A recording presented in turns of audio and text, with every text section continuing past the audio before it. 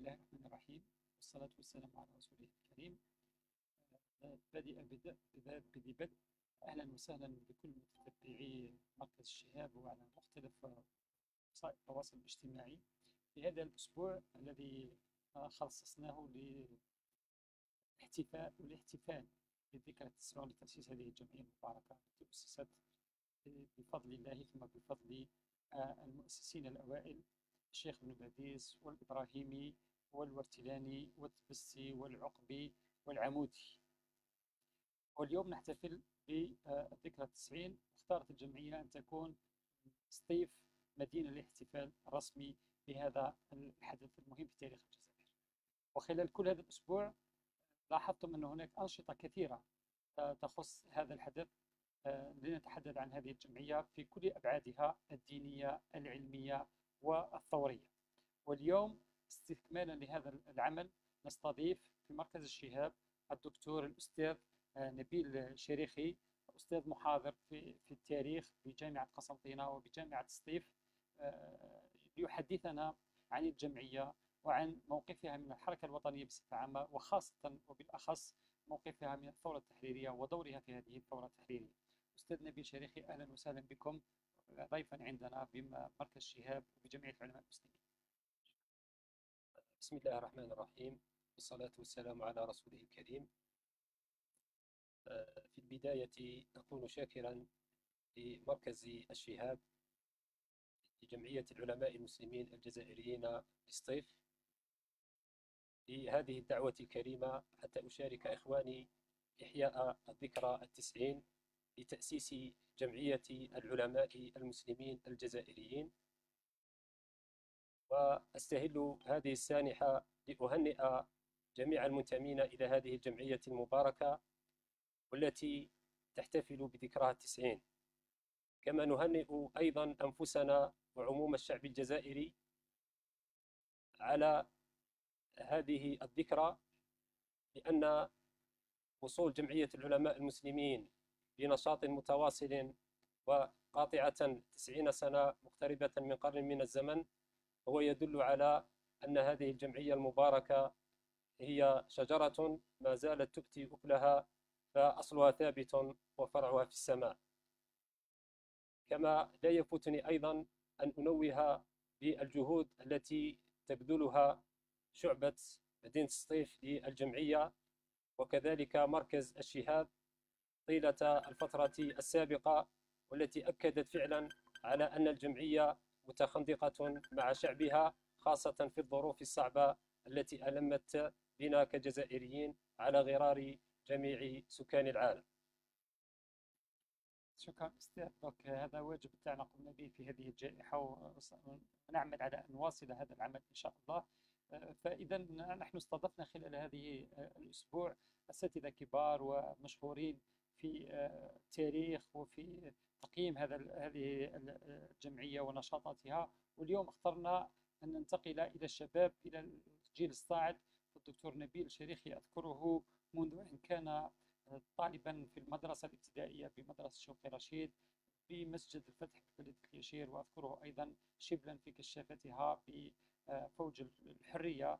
واليوم ما شاء الله اليوم هو أستاذ نشط في تدريس في الجامعة في مختلف الجامعات الجزائرية وأيضا على مختلف وسائل التواصل الاجتماعي وفي المؤسسات التعليمية وللتذكير فقط. وربما هنا نستدرك لنعتذر عن هذا التأخر. فالدكتور نبيل شريخي قادم من مدينة سطيف من مدينة قسنطينة عفوا إلى مدينة سطيف حيث كان يساهم ويشارك في آه، احتفاء واحتفال بحدث آخر مهم جدا في تاريخ الثورة خصوصا بمدينة سطيف وهو حد الذكرى 8 ماي 45 فنشكره وربما تأخر بسبب هذه الأمطار. آه، التي نسأل الله أن تكون غيث رحمة وإن شاء الله تكون سبب للرخاء في هذا البلد السعيد. أستاذ حتى لا نطيل على المتسبعين نريد أن نبدأ هذا الحوار لنسأل سؤالا مهما كثيرا ما يتبادر لأذهان المهتمين وحتى عموم الجزائريين. لماذا يتجدد دائما السؤال والاستفهام عن دور ثورة دور جمعية علماء المسلمين في الثورة التحريرية المباركة؟ نعم هو سؤال آه، حري بالطرح. لماذا دائما يطرح آه، مثل هذا السؤال عن دور الجمعية دون غيرها أو أكثر من غيرها؟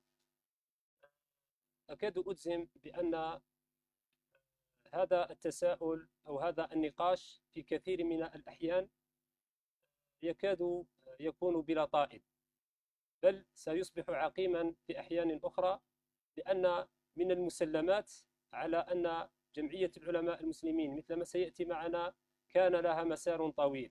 هذا المسار منذ تأسيسها في الخامس ماي عام 1931 فتأسيس جمعية العلماء المسلمين آه، يدل على هذا المسار الطويل الذي سيصل بنا إلى 1954 آه، من بين الأسباب التي يمكن ذكرها والتي دائما تجعل هذا السؤال يتكرر سواء من طرف عموم الشعب الجزائري أو حتى من طرف الباحثين. يعني لا أخفي وأنا أدرس مثلا تاريخ الثورة. دائما نجد الطلبة عندما نصل إلى ردود الأفعال من اندلاع الثورة يكاد يتملكهم بعض الشك عندما نتطرق إلى يعني موقف الجمعية. فهذا الأمر ممكن فيه مجموعة من الأسباب. من الأسباب التي يمكن أن أذكرها في هذا السياق هو ما تعلق أولا بالكتابة حول الثورة الجزائرية لأننا للأسف الشديد في كتابات الثورة التحريرية المباركة نجد عدم تحديد معنى دقيق للثورة لأنه آه، التحديد لمصطلح الثورة هو الذي أراه سببا رئيسا وراء مثل هذه التساؤلات التي لطالما آه، تتكرر. هذا التساؤل سيكون آه، قبيل يعني أو أثناء التحضير للثورة التحريرية وسيستمر ما بعد الاستقلال. لأنه مثل ما شبه الأستاذ الدكتور نصر الدين سعيدوني وكأن الجزائريين ركبوا حافلة عام 1954 ثم آه، آه، نزلوا منها سنة 1962 في حين أن الثورة مثلما يعني تعريفها الشامل هي ذلك الجهد الطويل والنهضوي الذي يؤدي إلى تغيير في مختلف تراكمي أيضا. نعم تراكمي فعلا لمختلف جوانب الحياة ولا يقتصر فقط على عمل عسكري أو حربي بإطلاق الرصاص وكذلك المدافع. يعني هذا ممكن سبب أول هو قضية عدم تحديد مصطلح للثورة. السبب الثاني الذي يمكن أن يعزى إلى ذلك يعني النقاش الذي دائما يدور في هذا السياق حول دور الجمعية هو نسبة الثورة إلى حزب دون بقية آه، أطراف وكذلك اتجاهات الحركة الوطنية. فهذا الأمر أيضا آه، يكون وراء ذلك الأمر في آه، ادعاء على أن الثورة كانت فقط من نتاج فصيل وكذلك اتجاه من اتجاهات الحركة الوطنية وهو الاتجاه الاستقلالي. وهذا الذي آه، يطرح تساؤلات عن أدوار آه، الاتجاهات الأخرى في هذا الأمر.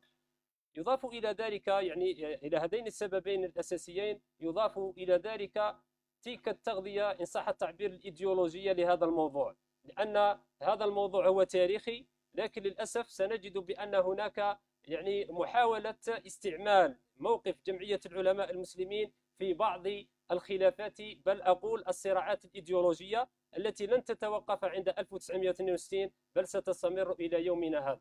يعني تلكم تقريبا أهم الأسباب التي يمكن أن تستوقفنا فيما يخص الأسباب التي دفعت أو تجعل دائما هذا السؤال يكرر نفسه في كل مناسبة أو في كل آه، مجال يتعلق بدور الجمعية. اذا من خلال تقديمكم أستاذ نفهم أنه في نهاية المطاف الثورات الثورة التحريرية خصوصا الجزائرية المباركة التي نفتخر بها ونعتبر أنها أكبر عمل آه، عظيم قامت به الجزائر في العصر الحديث.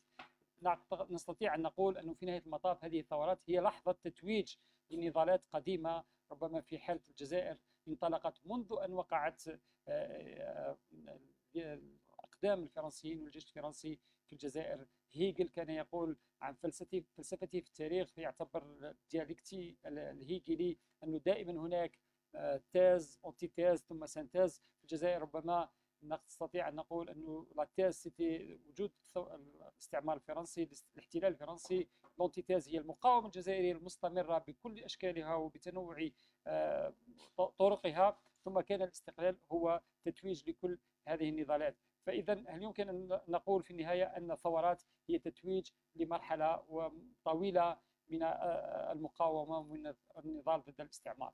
نعم لا شك في ذلك. بالنسبة إلى الثورة التحريرية هي فعلا تتويج لنضالات طويلة للشعب الجزائري.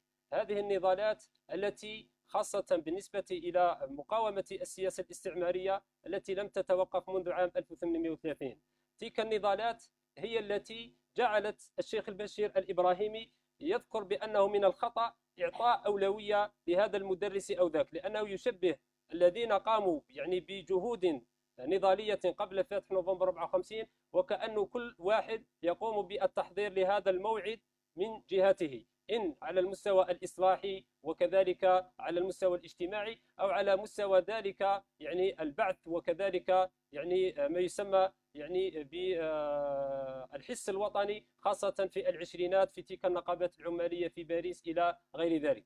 هنا يمكن أن أعود إلى الأصل الذي كان انطلاقة للثورة التحريرية وهو بيان أول نوفمبر. بيان أول نوفمبر الذي يعتبر إعطاء إشارة لانطلاق هذا الجهد الثوري المبارك عندما ساغ قادة الثورة الأمجاد بيان أول نوفمبر نجد فيه عبارة مهمة جدا. هذه العبارة تنطلق بالقول إن الحركة الوطنية بعد مراحل من النضال قد أدركت مرحلتها الختامية. فهذه العبارة فعلا تلخص بأن الحركة الوطنية يعني أو الثورة التحريرية ما هي إلا تتويج لذلك الجهد الوطني منذ عام 1830 معنى ذلك أن الثورة إن كانت قاطعة مع ممارسات خاصة حركة انتصار الحريات الديمقراطية إلا أنها في المقابل كانت تتويجا. هذا التتويج هو الذي يجعلنا نتكلم عن الأدوار التي قامت بها مختلف الاتجاهات في الحركة الوطنية وعلى رأسها جمعية العلماء المسلمين.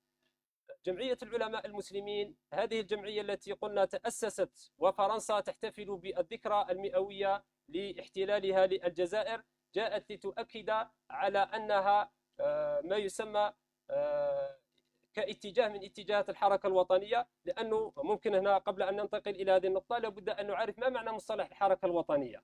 لأنه مصطلح الحركة الوطنية بمفهومها الشامل والصحيح هي مختلف ردود الأفعال الوطنية تجاه السياسات الأجنبية الاستعمارية التي تستهدف بلدا ما. معنى ذلك أن الحركة الوطنية لا يجب أن تفهم خطأ مثل ما يشاع دائما على أن ذلك آه، يعني النشاط السياسي فقط من تأسيس أحزاب سياسية وغيرها. الحركة الوطنية هي مختلف ردود الأفعال الوطنية لذلك ندخل فيها المقاومة المسلحة ندخل فيها الجانب والمقاومة السياسية من تأسيس الأحزاب وغيرها وكذلك مختلف النشاطات الفكرية. معنى ذلك بهذا التعريف نستطيع القول بأن الجمعية أو جمعية العلماء المسلمين هي اتجاه من اتجاهات الحركة الوطنية بمنصوص هذا التعريف الصحيح للحركة. نجد أن آه، جمعية العلماء المسلمين جاءت لمقاومة مختلف السياسات الاستعمارية وعلى رأسها التجهيل. لا يخفى علينا بأن آه، السياسة الاستعمارية قامت بغلق المدارس عطلت التعليم العربي الإسلامي. كذلك نجد أنها ستستهدف المساجد ستستهدف المساجد في سياسة التنصير بالإضافة إلى سياسات أخرى وهي تشجيع الخرافات وما إلى ذلك. فنجد إذن بأن آه، جمعية العلماء المسلمين ستقف في وجه هذه السياسات الاستعمارية.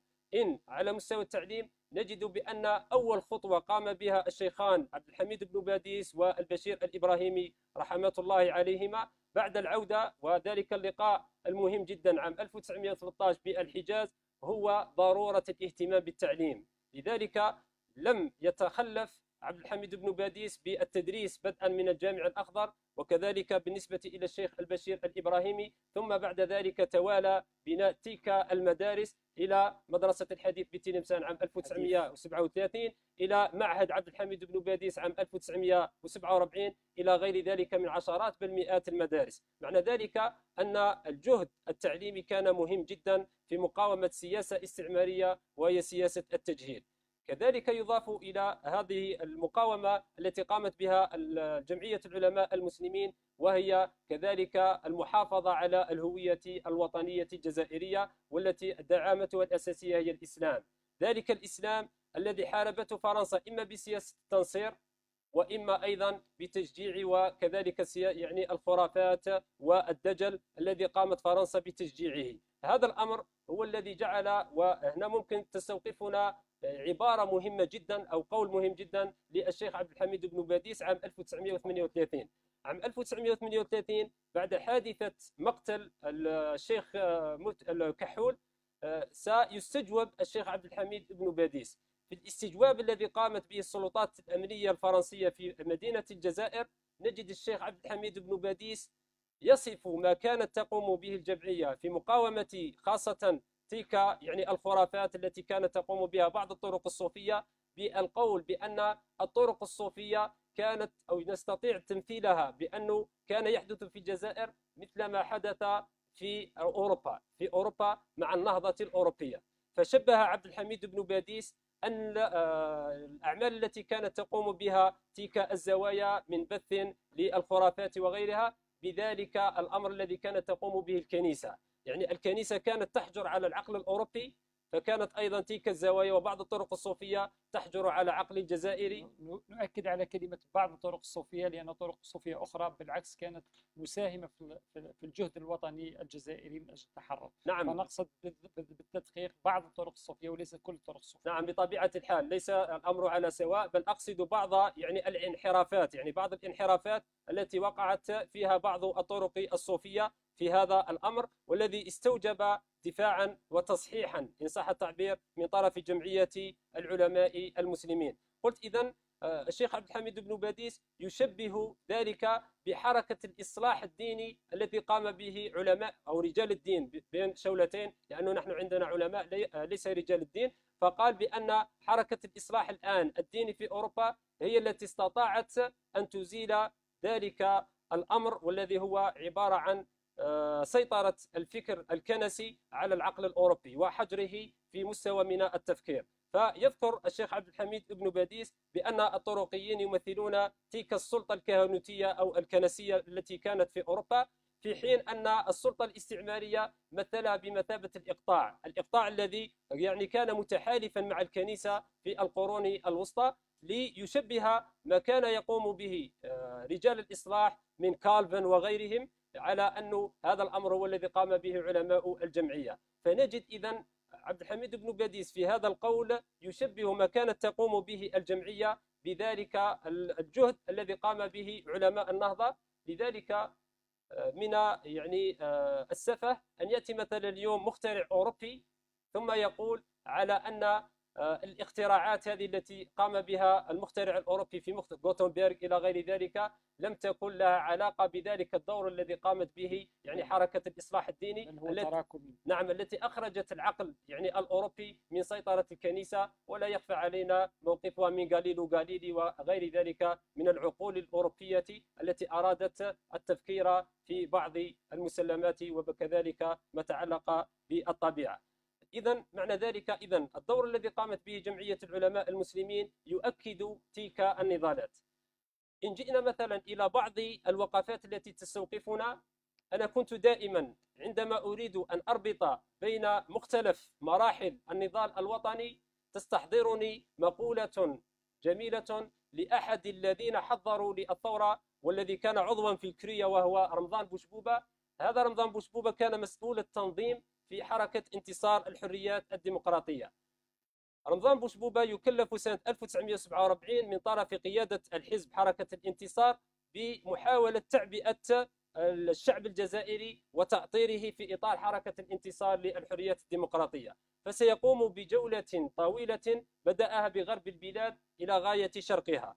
فيذكر رمضان بوشبوبة في سنة 1947 قائلا بأنه لم يكن يجد حرجا في تعبئة الشعب الجزائري من أجل أن يتأطر وينضم إلى هذه الحركة التي تبغي الحرية والاستقلال. فقال أنه كان عندما مر بوادي المقطع لم يكن يجد بدا وحرجا على أن يستعين ببطولات الأمير عبد القادر في معركة المقطع عام 1837 بعد ذلك يقول أنني مررت بمنطقتنا منطقة مجانة والجعافرة ويذكر بأنه ذكر الجزائريين ببطالة المقر... بط... يعني بطولة ومقاومة المقراني الذي يعني الأمس فقط تحل ذكرى كذلك استشهاده في مقاومة 1871 فبعد ذلك يقول بأنه استمر في مختلف مناطق الجزائر يذكر الجزائريين ببطولاتهم. ثم يقول عبارة رائعة جدا يقول نحن أثرياء بتجارب الماضي. يعني معنى ذلك هو يؤكد على أن الجزائر يعني بتجاربه ونضالاته يجد تلك الأمثلة التي تدفعه دائما إلى النضال الوطني قدما نحو الأمام قلت كنت يعني أستعمل دائما هذه العبارة لكن وأنا أحضر حقيقة لهذا الموعد استوقفتني عبارة مهمة جدا للشيخ مبارك الميلي رحمة الله عليه. مبارك الميري عام 1925 يلتقي بالشيخ توفيق المدني وكان أول لقاء بينهما. يذكر آه، الشيخ آه، مبارك الميلي في هذا اللقاء الذي كان في الجزائر العاصمة على أنه تدارس مع الشيخ توفيق المدني والذي كان مبعدا من تونس لتوه فتناقش الأوضاع التي كانت تمر بها الجزائر. تستوقفنا الآن عبارة ذكرها الشيخ الطيب أو مبارك الميلي قائلا. إن الجهاد في الجزائر سيكون شاقا مريرا والشعب الجزائري روحيا بخير. إنما الطرقية الفاسدة ترديه والاستعمار يبيده ويفنيه وهذه التي تكلمنا عنها منذ قليل. إنه إن سمع ويقصد الشعب تلك الكلمة ووجد ذلك الزعيم ووقف عملاقا صلبا جبارا عنيدا كما وقف من قبل تحت راية الأمير عبد القادر وأحمد باي يعرف كيف يموت ويعرف كيف ينشئ الحياة. هذه العبارة نجدها في مذكرة كفاح في الصفحة الثامنة.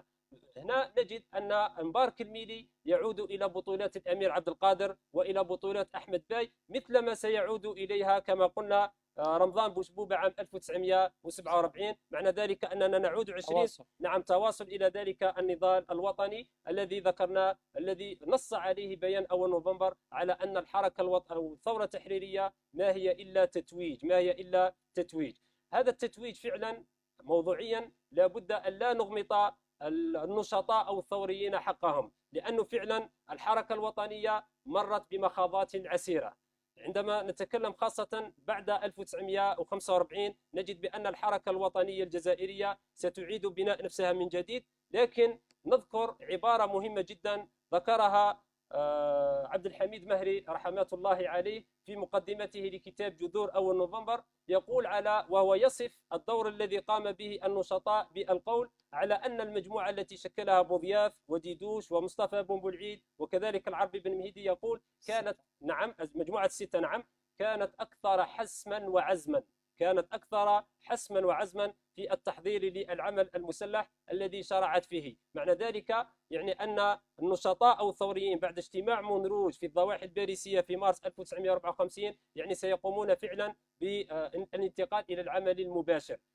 لذلك في هذا السياق يمكن يعني حتى أختم هذه الجزئية ما شبه به أحد المنتمين إلى الحركة الإسلامية في الجزائر وهو الدكتور أحمد بن محمد. عندما يذكر وهو أحد يعني الثمر وكذلك من من التلاميذ المقربين للشيخ أحمد سحنون وهو من تلامذة المدرسة الباديسية يذكر ويشبه ما قامت به جمعية العلماء وما قام به النشطاء بالقول بأن العلماء كانوا بمثابة أطباء.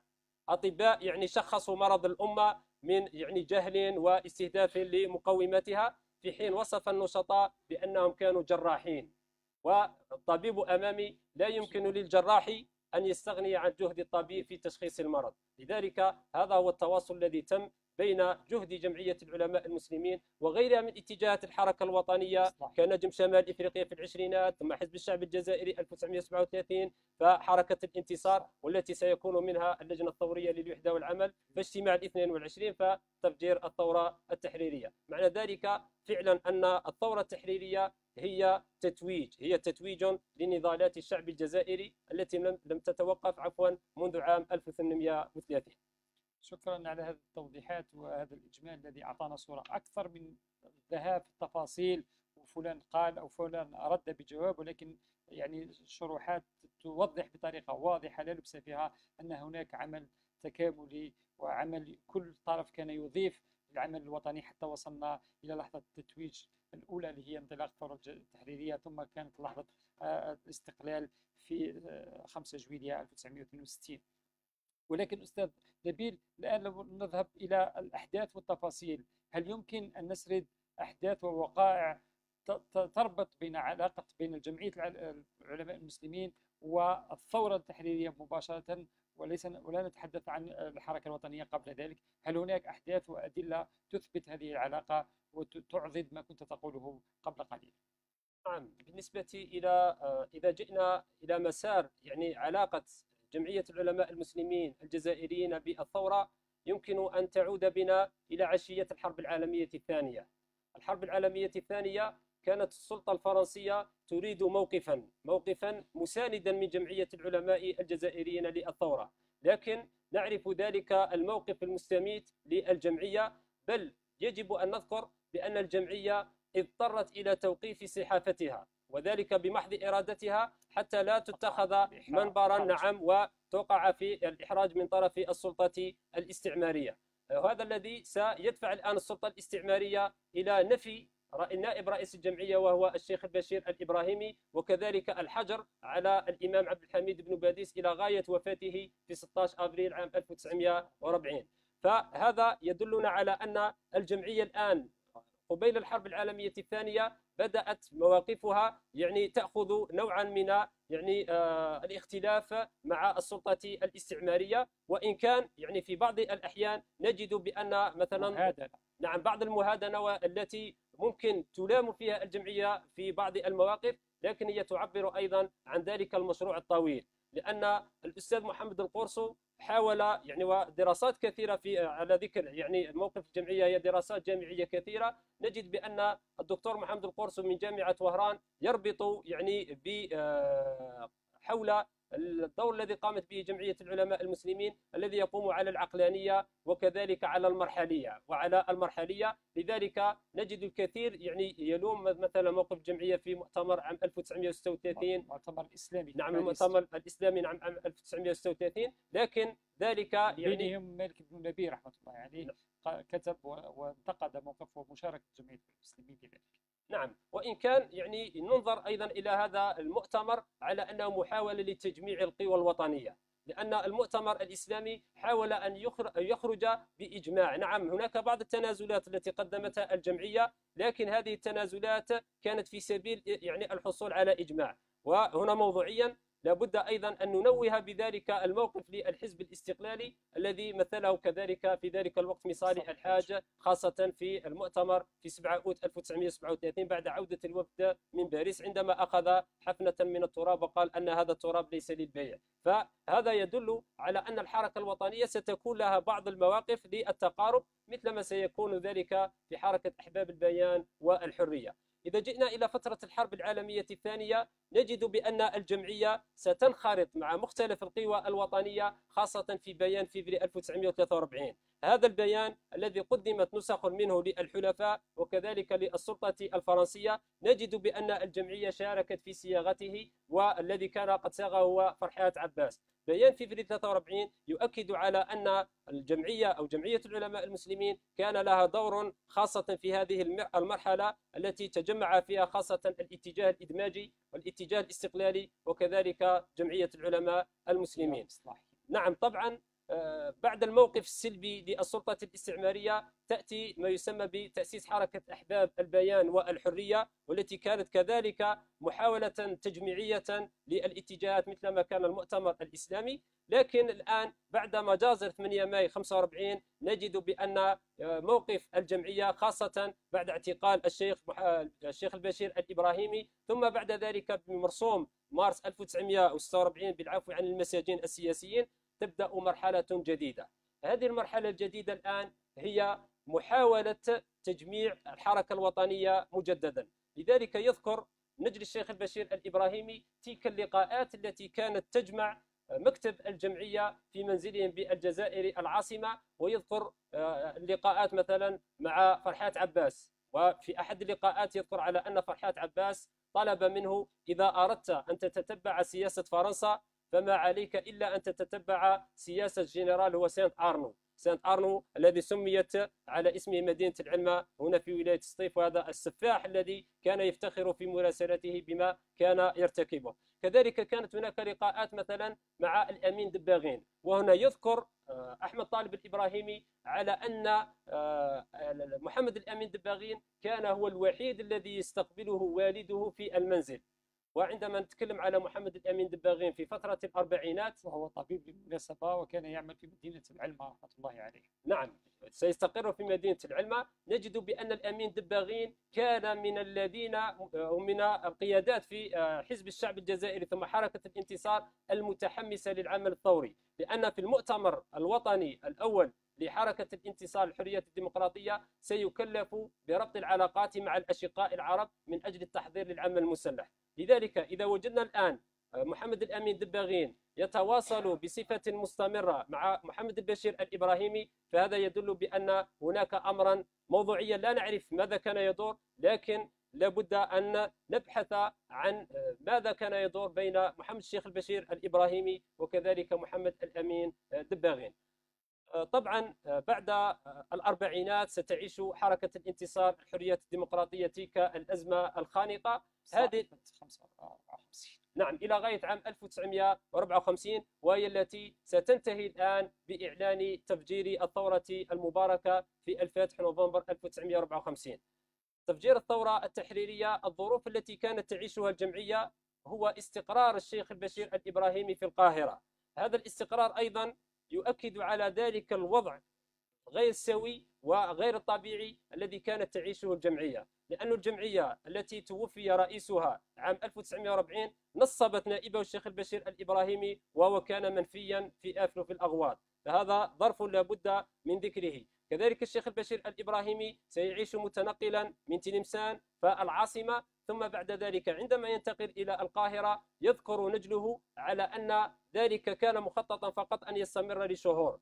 لكن زيارة الشيخ البشير الإبراهيمي الآن إلى المشرق ستطال وتمتد إلى ما بعد الاستقلال. فهذا يدل على أن الجمعية ستعيش ظروفا قاهرة يعني في إدارتها بين رئيسها الذي يستقر في القاهرة وبين مكتب الجمعية الذي كان في الجزائر. هذه الظروف الآن هي التي ستدفعنا الآن بعد اندلاع الثورة التحريرية كيف نقيم أو كيف سيكون موقف الجمعية؟ تمام. نعم.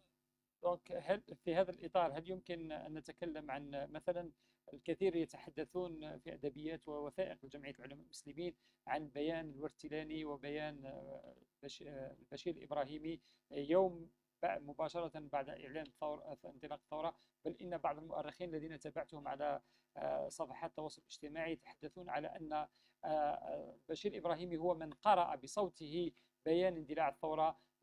من صوت العرب من القاهرة ثم بعد ذلك كان حتى اجتماع جبهة تحرير الجزائر التي كانت أيضا لحظة تجمع لمختلف التيارات الوطنية ومن بينها كان بن بلة كان حسين أيت أحمد وأيضا كان محمد بشير إبراهيمي وكان الورتلاني الذين أمضوا في 17 فبراير 1955 بمعنى حوالي ثلاث أشهر بيان لدعم ومساندة الشعب الجزائري في بحثه عن هذه الحرية والاستقلال. نعم هو بالنسبة إلى تتبع يعني كرونولوجيا إن صح التعبير مواقف جمعية العلماء المسلمين والتي حاول البعض يعني التمييز بين المواقف الشخصية وبين المواقف الرسمية لجمعية العلماء المسلمين. طبعا المواقف الشخصية إن صح التعبير أو بين شولتين لعلماء الجمعية لم تتخلف لم تتخلف منذ اندلاع الثورة التحريرية. بل أكاد أنني آه، ممكن أذكر مثلا ما ذكره أحمد توفيق المدني في آه، موقف العلماء بالثورة ثم عندما يقول مثلا عبارة مهمة جدا. قال إنني اتصلت في بيتنا أيام احتفالنا بافتتاح مدرستها الكبرى برجل من أكبر رجال الحركة الجديدة وعلمت منه في سرية تامة أن نبوءتي فيما يتعلق بالثورة المدوية سيتحقق عما قريب وأنه سيمدني أولا بأول بكل المعلومات المتعلقة بالحدث العظيم حتى أسعى جاهدا مع إخواني الأبرار بكل ما في أنفسنا من قوة وإيمان. لاحظ لربط جمعية العلماء بموكب الثورة. فهذا القول للشيخ آه، أحمد توفيق المدني يؤكد بأن هناك بعض المعلومات التي حصل عليها العلماء بتلك التحضيرات التي كانت تقوم خاصة في منطقة الأوراس الممشى. لذلك يواصل قائلا ثم يقول كما تسلمت منه أخيرا قبيل غرة نوفمبر بقليل منشور الثورة السري وهو يقصد بذلك بيان أول نوفمبر 1954 معنى ذلك أن التوفيق المدني يؤكد بأن جمعية العلماء في بعض المناطق ليس كلها كانت على اتصال بتلك التحضيرات التي كانت تتم. الآن بعد اندلاع الثورة التحريرية فعلا نجد بأن البيانات ستتوالى خاصة بيانات الشيخ البشير الإبراهيمي والتي تؤرخ خاصة بيان 2 نوفمبر 1954 والذي تناقلته الصحافة المصرية ووكالة الأنباء العالمية. ممكن ما نقرأه في هذا البيان مثلا؟ قال أذاعت عدة محطات عالمية في ليلة البارحة أن لهيب الثورة اندلع. فخافقة القلوب لذكرى الجهاد ونحن في القاهرة وكأننا في موقع النار من خنشلة وباتنا. يعني هذا موقف للشيخ البشير الإبراهيمي صبيحة الثاني نوفمبر 1954 كذلك في الخامس عشر نوفمبر وهو عام 1954 وهو البيان الشائع بين الجزائريين عندما يقول إن أقل القليل مما وقع على رؤوسكم من بلاء الاستعمار يوجب عليكم الثورة عليكم وهو يوجه هذا النداء للشعب الجزائري ثم يقول إنكم مع فرنسا في موقف لا خيار فيه ونهايته الموت فاختاروا ميتة الشرف على حياة العبودية التي هي شرف الموت كذلك هناك مثلما أسلفت الذكر دكتور يوسف موقف الشيخ الفضيل الورتيلاني. يعني هناك يعني تصريح للشيخ الفضيل الورتيلاني خاصة في 3 نوفمبر 1954 كذلك هناك رسالة في الخامس جانفي 1955 من الشيخ البشير الإبراهيمي إلى ملك السعودية الملك سعود ويطلب فيها يعني التعريف والدعم للقضية الجزائرية خاصة في الأمم المتحدة. فهذه البيانات تدل دلالة قطعية على أن الجمعية كانت حاضرة كانت حاضرة. هذا الحضور يمكن أن آه، ينقلنا إلى مناقشة يعني الفرق بين الموقف الرسمي والموقف الشخصي. نجد الآن بأن جمعية العلماء المسلمين خاصة المكتب المستقر في القاهرة برئاسة الشيخ العربي التبسي نجد بأنه سيصدر بيان في 28 جانفي 1955 ثم نداء إلى الضمير الفرنسي في 25 فيفري في نفس السنة 1955 ثم نداء باسم معلمي الجمعية في مارس في نفس السنة. وهذه البيانات آه، يعني تفضح الأساليب الاستعمارية والفرنسية التي واجهت بها الأعمال الثورية. ثم بعد ذلك نجد بيان جانفي 1956 لو نأتي الآن إلى بيان جانفي 1955 والذي يواصل الشيخ التوفيق المدني ذكر كيف تم يعني إذاعته والتحضير له. هذا البيان عندما يذكر الآن الشيخ البشير أو الشيخ عفوا التوفيق المدني هو فقط ممكن هنا تستوقفنا عبارات أيضا على أن الثورة كان فيها وقع المفاجأة. لأنه هذه ممكن ممكن عفوا نفتح قوسا ونحن يعني نتناول موقف جمعية العلماء المسلمين ودراستنا للتاريخ عموما لا بد أن لا تنسينا ذلك أو تلك الظروف التي يحدث فيها الحدث التاريخي لأن هذا الأمر عندما يغيب عن ذهن المؤرخ أو الباحث أو الدارس للتاريخ فإن أحكامه ممكن يعني تعرضه للكثير من الأخطاء وإعطاء أحكام جزافية في حق ذلك أو صناع ذلك الحدث.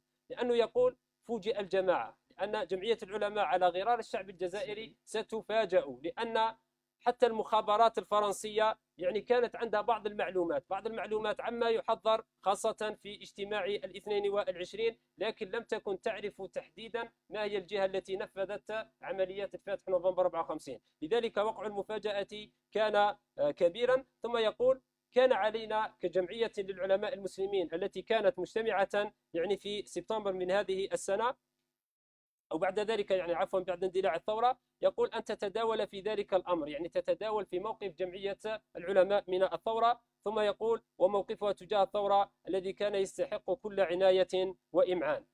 يواصل في ذكر بعض الاستعدادات ثم يقول بعد ذلك بعد مذاكرات طويلة ومفاهمات خاصة وعامة رأينا أننا مع الثورة ومن الثورة. ولا يمكن إطلاقا ألا نكون مع الثورة مع الحذر التام. يعني هنا نجد بأن الموقف الرسمي لجمعية العلماء المسلمين سيأخذ خطوة للأمام. وهنا لابد يعني أن نفتح أيضا يعني قوسا.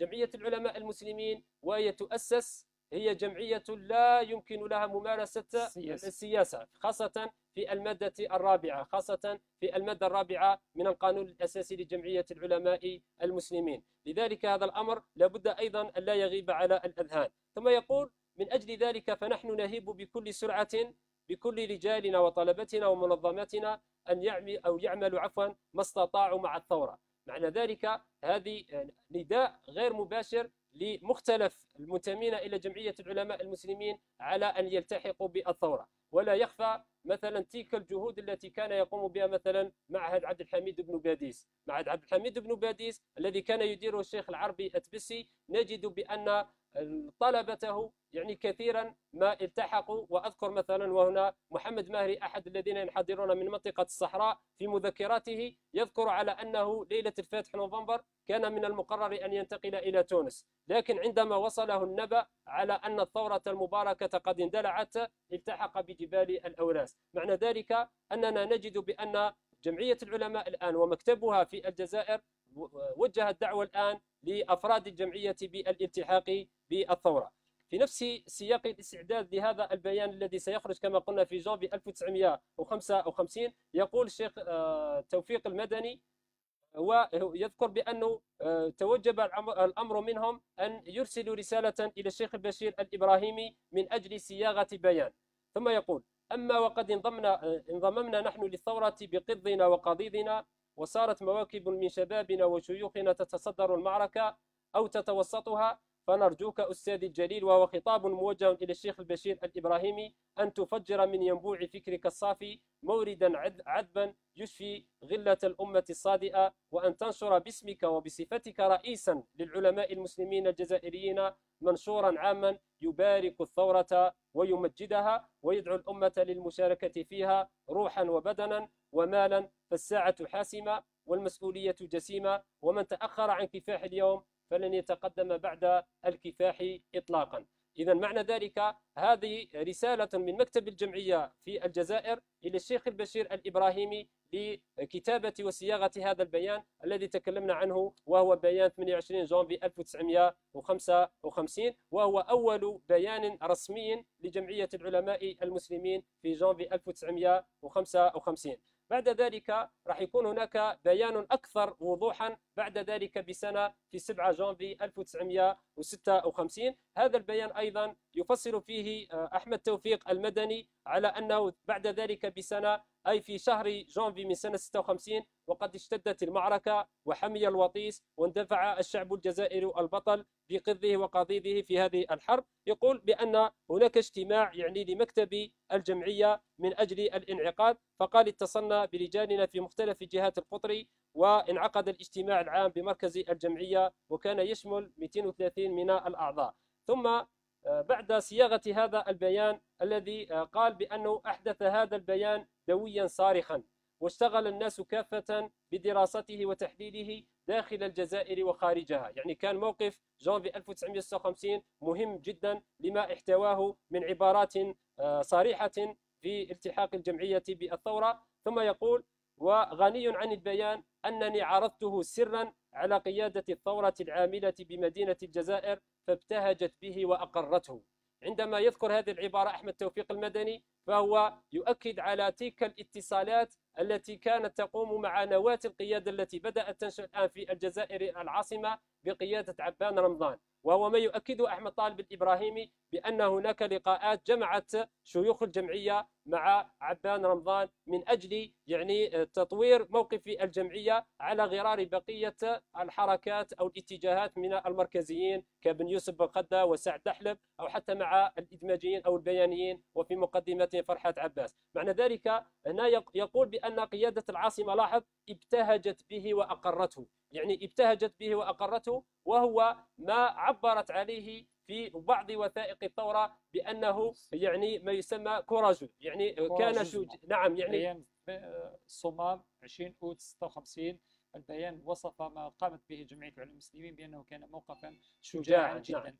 نعم هذه العبارة لابد أن تستوقفنا لأن ميثاق الصمام على أهميته يصف الآن موقف الجمعية على غرار تلك الأوصاف التي يعني أطلقها على الحركة المثالية أو مثال الحاج إلى غير ذلك. نجد إذا أن موقف الجمعية وهذا ما أكده هنا أحمد توفيق المدني قال عندما ابتهجت به وأقرته ويعني اعتبرته قرارا شجاعا. معنى ذلك يعني هنا نجد بأن موقف الجمعية خاصة في البيانات المتتالية نجد بأنها آه، كانت في بداية جانفي 1955 قد التحقت بالثورة التحريرية.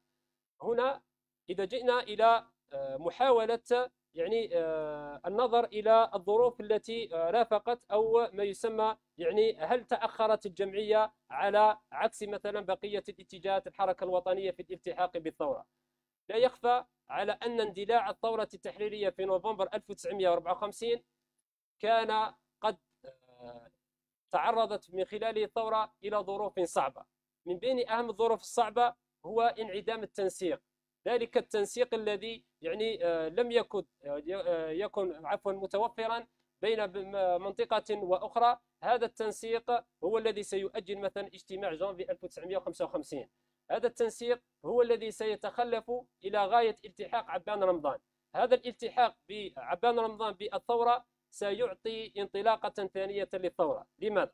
لأن التحاق عبان رمضان بالثورة سيبعث بتلك البيانات التي ستعرف أكثر الجزائريين أولا والطبقة الوطنية أو الحركة الوطنية بهذا المشروع الثوري. هذا البيان سيكون في أبريل 1955 وبيان آخر في شهر جوان 1955 هذه البيانات هي التي كان من نتائجها هو ربط تلك الاتصالات بين عبان رمضان ومختلف تشكيلات الحركة الوطنية. كما قلت سيقنع بن يوسف بن خدة بالالتحاق. كذلك سعد دحلب. تكلمنا منذ قليل تلك الاجتماعات مثلا مع شيوخ الجمعية وهي التي ستحرز تقدما في مواقف الجمعية في هذا التاريخ وهو جانفي 1956 وكأن أستاذ هذه البيانات عبان رمضان كانت أعطت أكثر وضوحا لصورة الثورة وسمحت للآخرين بأن يتعرفوا أكثر على أهدافها وبالتالي أن ينخرطوا فيها بشكل أكثر رسمية لأنهم كانوا منخرطين فيها قبل بدايتها من خلال العمل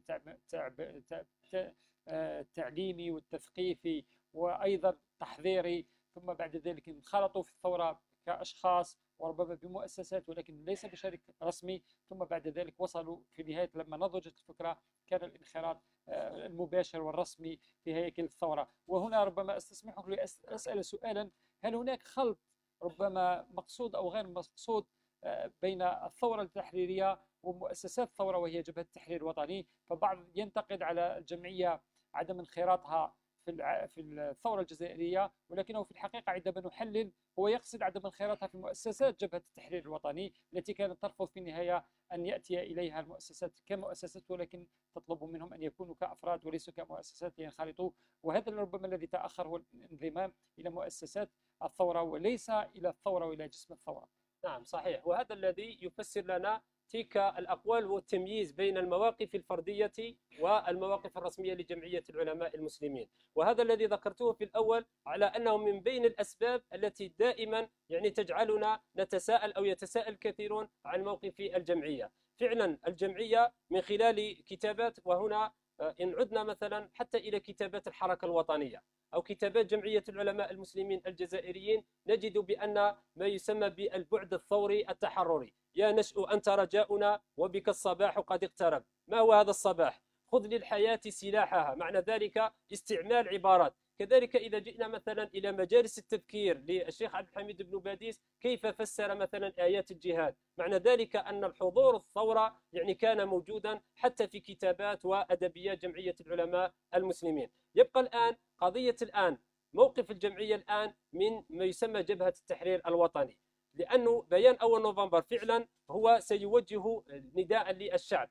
هذا النداء أو لمختلف تيارات الحركة الوطنية. لكن أمام ذلك يعني عدم الوضوح خاصة ونحن نتكلم عن ظروف خاصة في العام الأول من الثورة هناك مناطق لم تنطلق فيها الثورة إلا يعني بعد عام. يعني شهدت مثلا القطاع الوهراني أو حتى مدينة الجزائر. يعني عمليات فتح نوفمبر في بداية الثورة. لكن بعد ذلك سنجد بأن العمل الثوري يكاد يكون متوقفا إلى ما بعد 20 أوت 1955 معنى ذلك أن عموم الشعب الجزائري لم يستوعب بعد هذه الثورة. هذه الثورة التي كما قلنا يعني أحدثت وكانت بمثابة الزلزال الثاني مثل ما عبر على ذلك ابن يوسف بخدة لأن هناك زلزال سبتمبر 1954 فوصفت الصحافة الفرنسية بأن عملية فتح نوفمبر بمثابة زلزال. هنا هذا الزلزال يعني لابد من التثبت. هذا التثبت حتى يعني آه الذين ينتمون إلى حركة انتصار الحرية الديمقراطية والتي كانت منشقة على نفسها المثاليين والمركزيين كان الأمر ذلك يتطلب منهم وقتا. هذا الوقت هو الذي تكلمنا عنه عندما جاء دور قام به عبان رمضان وهذا نذكره للتاريخ. هو قام بدور كبير جدا في التعريف خاصة وربط الاتصالات بمختلف تيارات الحركة الوطنية والتي من بينها كذلك جمعية العلماء المسلمين الجزائريين. لأنه آه، الثورة التحريرية كما ذكر الأخضر بن طوبال قبل مؤتمر صمام كانت بمثابة ثورة تقودها خمسة جيوش يعني وخمس قيادات يعني لا يوجد هناك تنسيق لا يوجد هناك اتصالات وهنا كذلك وهذا ممكن يبين لنا دور الجمعية هو ربط الاتصالات مثلا لأنه عبان رمضان. بعدما ربط الاتصالات بالحركة أو يعني اتجاهات الحركة الوطنية سيقوم كذلك باتصالات مثلا مع بعض المناطق خاصة المنطقة الثانية بقيادة زيغود يوسف بعد استشهاد ديدوش مراد نجد أن دور آه، مدرسة قسنطينة أو معهد عبد الحميد بن باديس في ربط الاتصال في ربط الاتصال بالمنطقة الثانية خاصة بجهود إبراهيم مزهودي وهنا نذكر إبراهيم مزهودي الذي سيكون ضمن الوفد الولاية المنطقة الثانية الشمال القسنطيني المشارك في مؤتمر صومام إبراهيم مزهودي أحد تلاميذ جمعية العلماء المسلمين وكان للشيخ العربي تبسي دور في إلحاقه بالثورة وسيكون مقر معهد عبد الحميد بن باديس لربط الاتصالات بين قيادة العاصمة من جهة وبين آه، قيادة الشمال القسنطيني. هذه الاتصالات هي التي ستوصلنا إلى 20 أوت 1956 معنى ذلك هذا أيضا يبرز لنا دور خفي لجمعية العلماء المسلمين في ربط الاتصال الذي فقد في الثورة في الأشهر والأسابيع الأولى. شكرا أستاذ نبيل. ربما الحديث يطول عن هذا الموقف التاريخي المهم جدا وهذه اللحظة التاريخية ونحن نحتفل هنا في سطيف رسميا بهذه الذكرى العزيزة الغالية علينا ذكرى تأسيس جمعية العلماء المسلمين التسعين آه، والتي تتواصل طوال هذا الأسبوع وستتواصل خاصة ستصل إلى قمتها غدا يوم الجمعة بعد الظهر بعد صلاة الجمعة وأيضا يوم السبت لأن هناك احتفالات رسمية ستتم هنا. وحتى على الأقل على شكل خلاصة لهذا هذا اللقاء أستاذ آه، نبيل شريخي أستاذ التاريخ أذكر مرة أخرى أستاذ محاضر في التاريخ. هل يمكن في النهاية أن نفسر كل هذه التطورات وكل هذه المواقف لجمعية المسلمين؟ هل هناك بنظرة التاريخي آه، المختص آه، التقني العلمي أن نفسر تفسيرا علميا لهذه المواقف لجمعية العلماء المسلمين والله فعلا لأنه ونحن عندما نتكلم عن موقف جمعية العلماء المسلمين لا ننصب أنفسنا مدافعين عن مواقفها أو باحثين عن تبريرات لمواقف جمعية العلماء. لأنه آه، نحن نجتهد على أن تكون الحقيقة التاريخية هي يعني دائما السامية في هذا النقاش. آه، ذكرت منذ قليل بأن جمعية العلماء المسلمين كانت تعيش فعلا ظروف صعبة. هذه الظروف الصعبة يعني مثلا رئيس الجمعية موجود في باريس أو موجود عفوا في القاهرة. مكتب الجمعية في الجزائر. يعني هنا هذا يمكن أيضا أن يكون سببا مفسرا لذلك التأخر بين قوسين وإن كان كما قلت بأن الجمعية كانت تقريبا على قدم المساواة مع مختلف تيارات الحركة الوطنية خاصة أو حتى من الاتجاه الاستقلالي نفسه بل سبقتها بل سبقتها. لذلك مثلا عندما أعود إلى مثلا البيان تاع جانفي 1955 نجد بأن كان هناك مشكل كان هناك مشكل في جمعية العلماء المسلمين كاد أن يصل بمكتب الجمعية إلى آه، محاولة آه، نزع ما يسمى بذلك الدور الذي كان يقوم به الشيخ البشير الإبراهيمي خاصة في جانب رعاية الطلبة.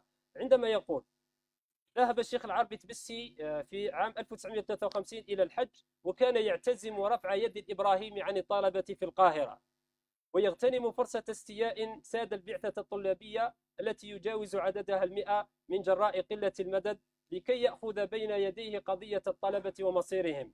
وكانت أنباء مساعيه ترد علينا تباعا من طلبتنا الأبرار الذين ذاقوا بذلك ذرعا ورأوا فيه بروز قرون فتنة عمياء. يعني هنا خشي مكتب الجمعية في الداخل على أنه إن تم يعني تنحية بين قوسين الشيخ البشير الإبراهيمي في هذا في هذه المهام فإن ذلك سيعرض الجمعية إلى فتنة عمياء. ثم يقول فما كان منا يومئذ إلا أن بعثنا بقية باسم مكتب الجمعية للإبراهيمي نجدد له فيها ثقتنا.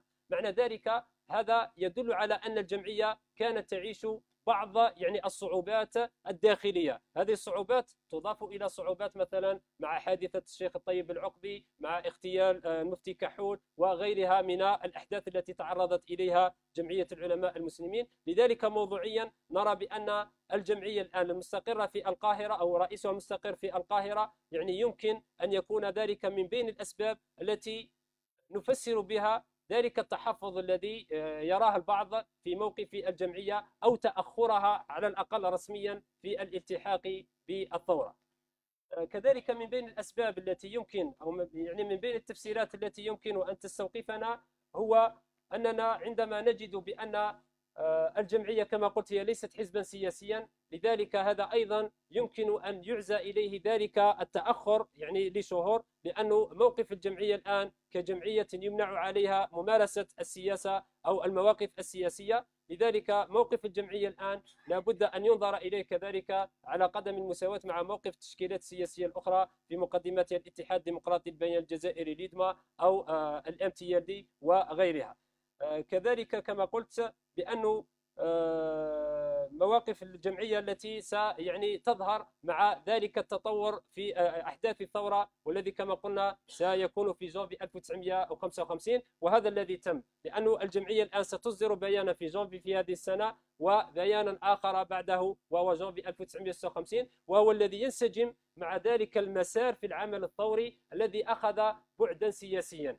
هذا البعد السياسي هو الذي ذكرناه منذ قليل بكتابة تلك المنشورات وكذلك التعريف بالقضية الجزائرية أكثر وعودة التنسيق بين مختلف المناطق والتي ستوصلنا إلى محطة 20 أوت 1956 شكرا أستاذ نبيل.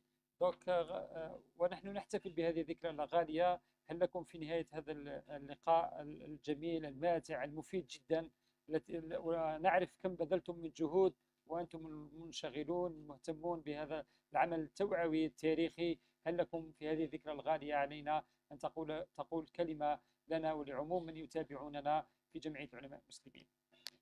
والله آه، في ممكن ما يمكن ذكره في نهاية هذا اللقاء الذي أنا بدوري أشكركم عليه. وأتمنى عفوا. أننا يعني كنا قد قدمنا بعض يعني وإن كان آه ذكرنا يعني بعض الوقفات إن صح التعبير والمقام لا يتسع إلى ذكر إسهامات جمعية العلماء المسلمين في الجانب يعني العمل المباشر في عمل مثلا آه، رعاية الطلبة الجزائريين. يعني الموضوع يعني يطول ويطول وقد كتبت فيه الكثير من المؤلفات والدراسات الجامعية وكذلك نظمت فيه ملتقيات وطنية ودولية.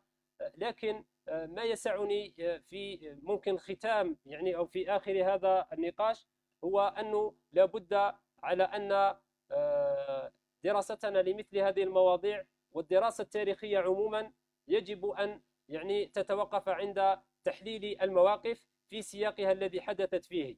لأنه كما قلت أي دراسة تاريخية عندما ننزع عنها ما يسمى السياق التاريخي فإن ذلك سيجعلنا نتخذ مواقف ونخرج بمواقف جزاف يمكن أن الدراسة التاريخية لا نستفيد منها.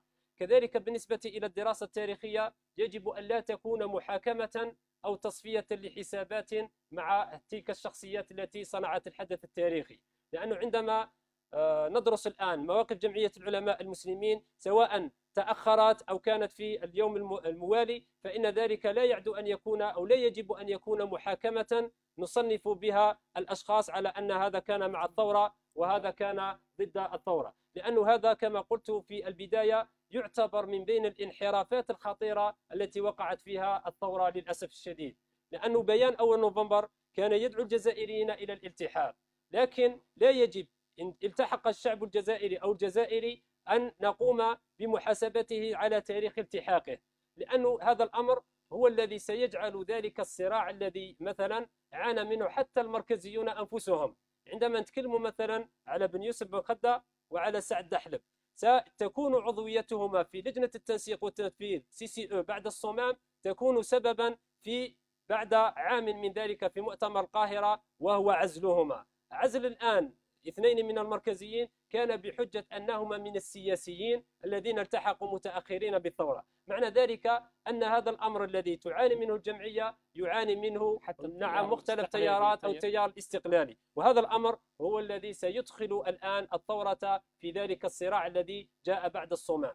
معنى ذلك أنه هنا نجد بأن آه، كما قلت هذا يعتبر انحرافا. يعني ذلك النقاش الذي يدور دائما هو بمثابة انحراف للأسف الشديد عن بيان أول نوفمبر. بيان أول نوفمبر قال الثورة هي تتويج. معنى ذلك أن كل من يلتحق فهو يقدم من إضافة. نعم إضافات لهذه الثورة. لكن عندما انتقلت الآن آه، قضية الآن آه، محاسبة الذين التحقوا بين هؤلاء الثوريين وبين هؤلاء السياسيين ستدخل الثورة صراعات لن تتوقف إلى غاية المفاوضات. لأن هذه النقطة أيضا ستكون سببا من أسباب الخلاف بين هيئة الأركان وكذلك بين الحكومة المؤقتة لرفض هيئة الأركان يعني بعض يعني آه، المواقف من السياسيين التي كانت برئاسة بن يوسف بن خدة الذي يحسب أيضا من الذين التحقوا متأخرين بهذه. الثورة لذلك نرى بأن هذه النقطة تشترك فيها. يعني جمعية العلماء مع الحركات يعني مع الاتجاهات الأخرى وحتى من الاتجاه الاستقلالي نفسه وهي انحراف كما قلنا عن المسار الذي انطلقت فيه الثورة التحريرية وهنا كما قلت عندما ندرس تاريخ الثورة أو مواقف جمعية العلماء المسلمين بهذه الموضوعية بهذه بدون حسابات كما قلت في الأول إيديولوجية سنصل إلى نتائج طيبة جدا ذلك هو الذي سيخرجنا بدروس هذه الدروس هي التي تكلم وممكن أختم بها قولا بليغا للشيخ عبد الح- أو للمناضل عبد الحميد مهري. عبد الحميد مهري عندما قال بأن وهو يحلل تلك الأزمة التي عصفت بحركة انتصار الحريات الديمقراطية يقول بأن القيادة السياسية للجنة المركزية التي كان الأخ بن يوسف بن خدة أمينها العام يقول رغم إيمان أعضائها فرادى بضرورة الكفاح المسلح كوسيلة أساسية للتحرير الوطني ورغم الخطوات العملية المترددة التي اتخذتها في هذا الاتجاه كانت عاجزة سياسيا عن اتخاذ القرار الحاسم بالانتقال للكفاح المسلح في الوقت المناسب. ما أشبه هذه العبارة إن جئنا الآن ونسقطها للذين يفرقون بين الموقف الرسمي وبين الموقف الشخصي لعلماء الجمعية. لذلك ثم يواصل قائلا وأسباب هذا العجز. لاحظ وأسباب هذا العجز هي الجديرة في رأيي بالدراسة والبحث لمن يتصدى لتأريخ هذه الفترة معنى ذلك يعني نحن الآن الجدير بالبحث مثلا في موقف الجمعية ليس طرح السؤال هل كانت الجمعية مع أو ضد الثورة بل ما هي الأسباب مثلا التي جعلت موقف الجمعية مثلا يتأخر مثلا رسميا بين جانفي 55 إلى جانفي 56 سواء بالظروف التي تكلمنا عنها حول الثورة أو بالنسبة إلى الظروف الداخلية. فيقول الآن وأهم هذه الأسباب هو بقاء القيادة سجينة تنظيم سياسي للحزب وتصور استراتيجي للثورة. ثم يقول والذين يكتفون في تحليل هذه الأزمة ويقصد أزمة حركة انتصار الحريات الديمقراطية؟ 54 نعم. بتصنيف التيارات والأشخاص بين متقاعس ومؤيد للكفاح المسلح يقفون في دائرة السطحية التي أشرت إليها آنفا. معنى ذلك عبد الحميد مهري يقول بأن النقطة المبدئية على أن المركزيين المثاليين والنشطاء كانوا متفقين على ضرورة الثورة. مثلما كانت جمعية العلماء ومختلف التيارات الوطنية ترى بأن الثورة لابد منها. لكن يبقى الآن قضية الآن التوقيت إلى غير ذلك. فقال تصنيف الأشخاص على أنه ضد أو مع الثورة يوقف أو يوقعنا في تلك السطحية التي لا طائل منها. وهذا كلام بليغ من أحد رواد الحركة الوطنية وهو عبد الحميد مهري عندما نحاول إسقاطات على يعني ما تناقشنا فيه حول موقف الجمعية من الثورة التحريرية. وكلامك أيضا أستاذنا بديع ممتع ومفيد آه، جدا. نشكرك شكرا جزيلا على هذه الجلسة التي نظنها ونتوقع أن تكون الأولى وبإذن الله لن تكون الأخيرة.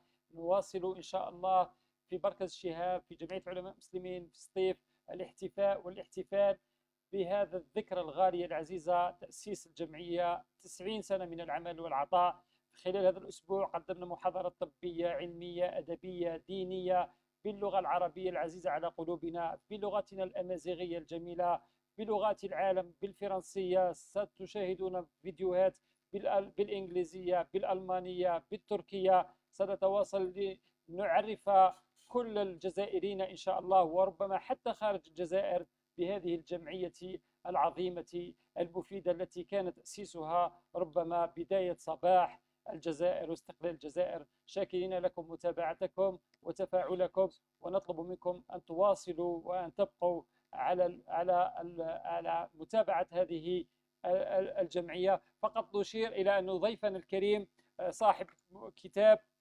آه، بعنوان الجرائم موسوم بالجرائم الفرنسية في الجزائر أثناء الحكم العسكري من سنة 1830 1871 آه، تأليف آه، مع أستاذ محمد عيساوي والدكتور تقدم مشكورا بإهدائه إلى الجمعية إن شاء الله. فنشكر له جهده سواء البيداغوجي التعليمي أو على المستوى التثقيفي العام وأيضا على الكتابات والكتابات مهمة جدا في كتابة التاريخ. إذا إلى موعد لاحق. أذكر فقط أنه بعد مدة قليلة بسبب تأخر انطلاق هذا البرنامج أثر سلبا على انطلاق برنامج آخر هو نسمات رمضانية التي ينشطها زميلي وأخي الدكتور خير الدين درويش الذي سيلقاكم بعد قليل لا تبتعدوا كثيرا لأنه سيحدثكم عن آه، الشعر والأدب آه، العربي وهو موضوع أيضا ثري ومهم ومفيد. متابعة مفيدة. إلى اللقاء. صح رمضانكم. صح صح فطوركم.